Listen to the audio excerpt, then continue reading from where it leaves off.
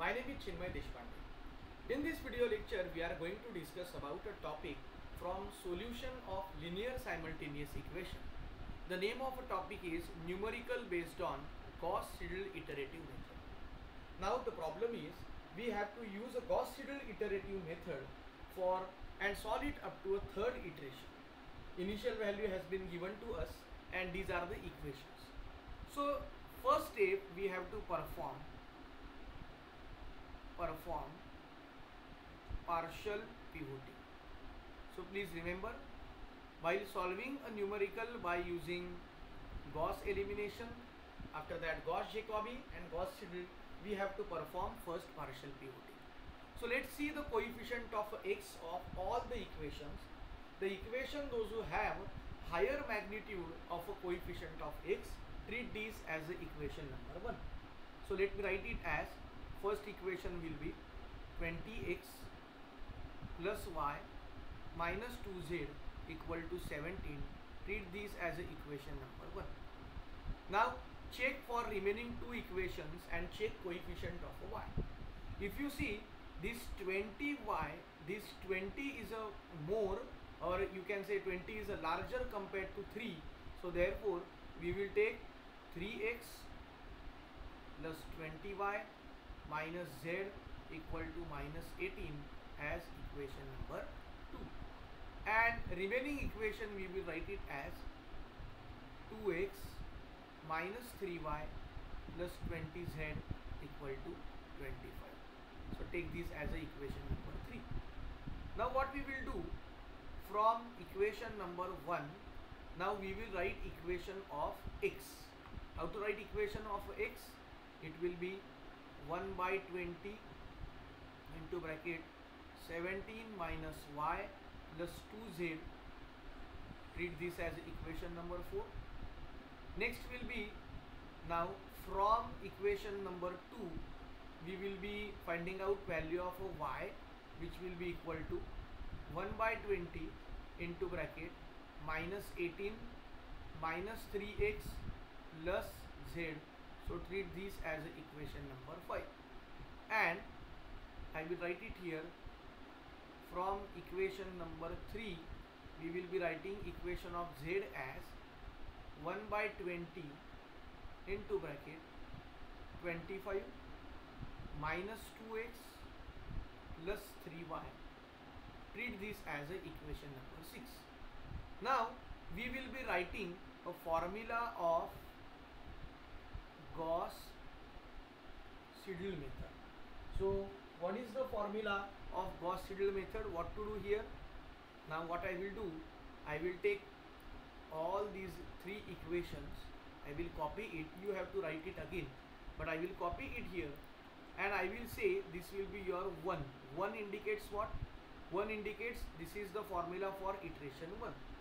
Here this will be 0, this will be 0. Now here if you see x equal x of 0 equal to y of 0 equal to z of 0 equal to 0 this is initial value.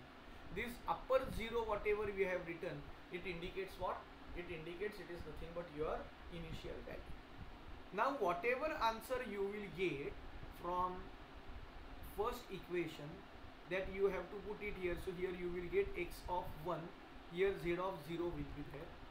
And here again we have to write x of 1 and y of 1 means here we are shifting this answer of y at this point and we are shifting this answer of x here. So we will get this will be your formula of Gauss-Seidel method. Again we will be solving it with the help of calculator because it will be easy for us.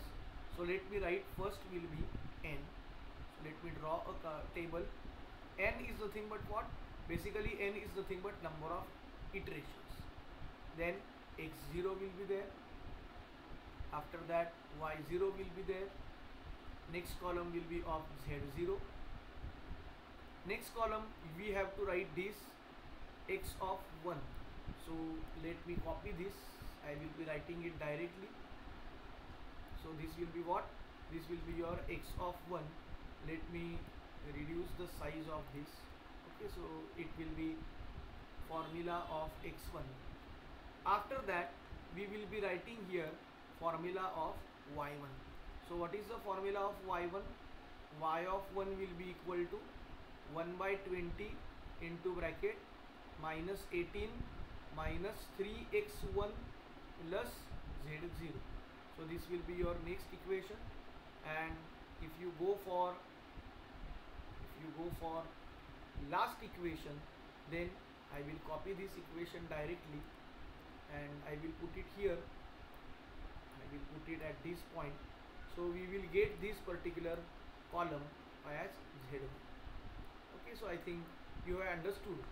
Now why we did it like this? The simple reason is that if we know value of y0 z0 we will be able to find it out x of 1 if we know value of x1 and z0 we will be able to find it out y1 and if we know value of x1 and y1 we will be able to find it out z1 now first we will be writing it.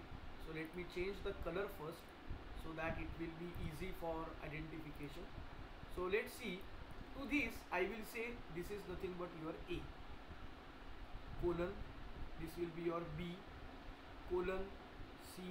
Colon 2 now to this x1 I will say it is D which is equal to 1 divided by 20 into bracket 17 minus what is y0 it is denoted by b. So it will be b plus 2 z0 is denoted by c. Next is colon. We will take y of 1 as e will be equal to 1 divided by 20 into bracket minus 18 minus 3 x1 now here if you see 3 x1 is there so x1 is indicated by what? It is indicated by d. So it will be minus 3d plus z0 is indicated by c. So i will write it as c. And here we will get f will be equal to 1 divided by 20 so let me shift this here first. What is your equation? 25 minus 2x1 now x1 is represented by d. So minus 2d plus 3 y1 which is represented by e. So if you observe now let me first complete uh, table. Then only we will be able to put all the values in a calculator. So first of all if you see I will complete this table first. Let me reduce first size so that it will be visible to you all the points. So this is a table which is completed here. So first column second column third column fourth column fifth column and sixth column. Now first of all I will open magnifier so that it will be easy to you so just a minute. Let me open magnifier. Now what I will do I will open first calculator. How to put a? So let me put this calculator here. How to put a? Press this alpha button and this button. Then alpha and this integration sign you will get colon. Alpha and this dot comma comma comma sign you will get b. Then alpha and this integration you will get colon. So I will take it as this is c colon. Now let me see the equations properly. Alpha when I press sine we will get D. Don't press this equal to sign. You have to press this alpha equal to into bracket 1 divided by 20 into bracket 70 minus b plus 2c so alpha and this symbol we will get b plus 2 alpha and HYP we will get C. Bracket close. Now let me move this calculator first here. So next is E equal to. So alpha and this. So we will get separated column. Alpha and you if you press cos you will get E. Alpha and CALC we will get equal to. So into bracket 1 divided by 20 bracket complete minus 18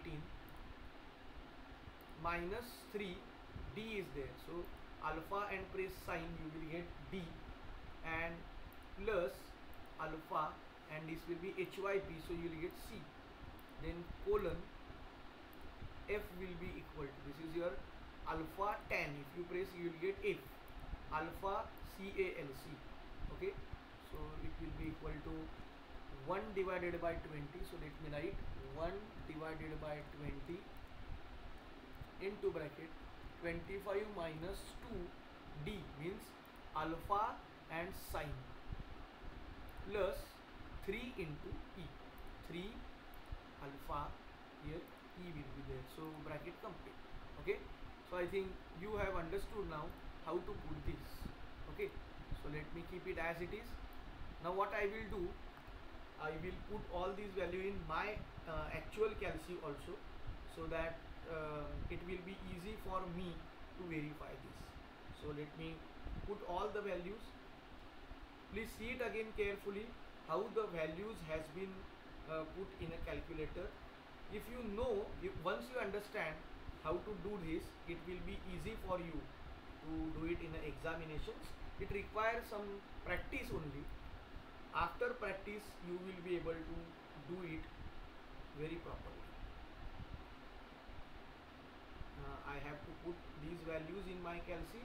So I am putting these values in my calci let me give few seconds. Okay so I did this. I have uh, I have uh, inserted all the values. Now what to do next? You have to press first of all I will write it here. Iteration number 1 here you will have value 0 0 0 because it is already given to you.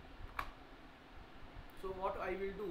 I will press CALC press here 0 equal to B is 0 equal to C is 0 again uh, remember A is 0 B is 0 C is 0 okay? So if you press equal to again it will show all these values. First it will give you value as value of d which is equal to x of 1 which will be equal to what? Which will be equal to 0.85 so we, we will write it down. Next will be minus 1.0275 okay? And next will be if you see next value will be 1.010875 so let me minimize this. I will write all the values. First value we got it was 0.85 next value was minus 1.0275 and last value is 1.010875 so this is the answer at the end of iteration number 1 now for iteration number 2 what to do here? Just we have to do a simple thing. What is a simple thing? What to do here? Whatever answer of this x of 1 we have to put it as x of 0 in iteration number 1 oh sorry iteration number 2 here we have y of 1 is minus 1.0275 to put it as y0 so minus 1.0275 and here I will put it as 1.010875 so again what to do here? Nothing else just you have to press CALC and in that you have to put value of all the uh, initial conditions. Initial condition means what? A B and C so I will put it here. So please see it here. I will press CALC so what is A? It is 0.85 what is B? Minus 1.0275 what is C? 1.010875 so you will get a value b value c value. What is the answer of d? So if you see d is 1.0024625 then e will be equal to minus 0.9998 and uh, f will be equal to 0.999 so let me write all these values. D will be equal to what? 1.00 246 I will take it only up to 4 5 digit. Minus 0 0.9998 and 0 0.9997 while finding the third iteration what we have to do? While finding the third iteration now you have to put whatever answers you will you have uh, uh, whatever answers you got here in a iteration number 2 it should be used as a initial approximation for initial uh, for iteration number 3 so it is 1.00246 this will be value of x0 because initially this was the value of x1 in iteration number 2 then here it will be minus 0.9998 and here it is 0.9997 so you try to put now now as I told you how to put these values you please try to put values here in a calculator. So what you will get the answer if you put you will get the answer of D as okay so let me open this calculator. I will press this uh, CALC okay. So I will directly write the answers. I will get this as 0.99996 next will be minus 1.00 and this will be 1.000 so you have to write. Please remember at the end you have to write your answer. So what is the value of x? What is the value of y? What is the value of z?